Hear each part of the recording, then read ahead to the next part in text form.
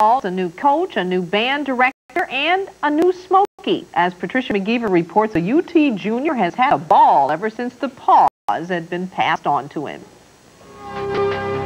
Chris Broyles reports for practice just like any other rookie.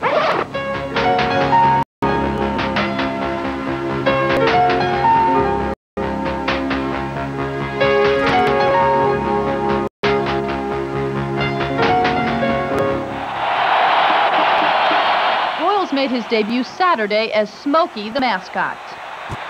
I was walking by in my overall, and there was this little old man sitting out there, and he had these orange overalls, and he looked at me and goes, Smokey!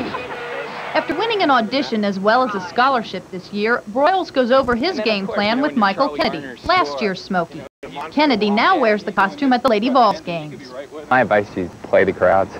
They're all so fun, and there's certain sections of the stadium they're a bit more alive than others, and you just got to kind of feel it out. The two giant blue tick hounds run their own drills.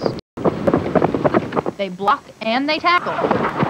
It's funny. Sometimes you take it off and you still find yourself walking to class, you know, that big bouncing step. And each Smokey has his own personality. When I did it last year as the boys, it would be more like this.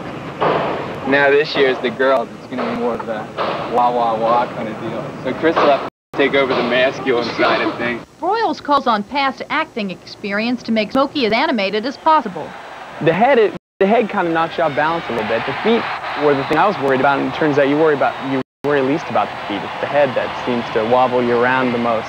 Get the attitude going. Yeah, put your head up, nod. Strut. You're Smokey. It's not easy to walk in the costume, but once it's on, it's not so hard to entertain and bring down the house with a winning performance.